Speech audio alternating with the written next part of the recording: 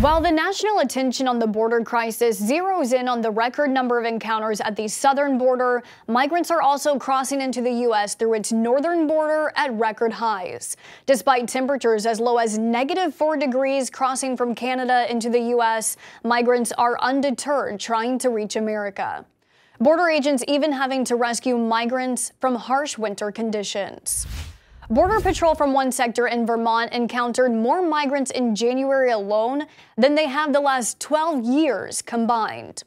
Illustrated by the graph, you see the number of migrant encounters at the northern border more than triple year over year. In 2020, migrant encounters were a little more than 32,000. In fiscal year 2021, there were 27,000.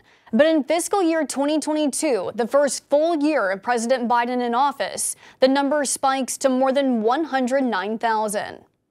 Meanwhile, at the southern border, there was a decrease in crossings from December to January, dropping from a record high of a quarter million to 156,000 encounters. Our Washington correspondent Ray Bogan discussed why federal law enforcement officials believe there was a dramatic decrease month over month. You can find his report on our website, straightarrownews.com.